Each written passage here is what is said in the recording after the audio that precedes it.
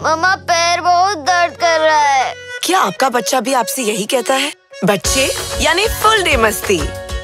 पूरा दिन स्कूल फिर प्लेग्राउंड ऐसे में फुटवेयर मस्ट भी कंफर्टेबल इसलिए सिर्फ़ डेज़ फुटवेयर जो बच्चों के पैरों को दे पूरा आराम। अब बच्चों के पैरों में पेन नहीं, सिर्फ़ डेज़ फुटवेयर क्योंकि बच्चों के पैर चलेंगे तो मस्ती चलेगी।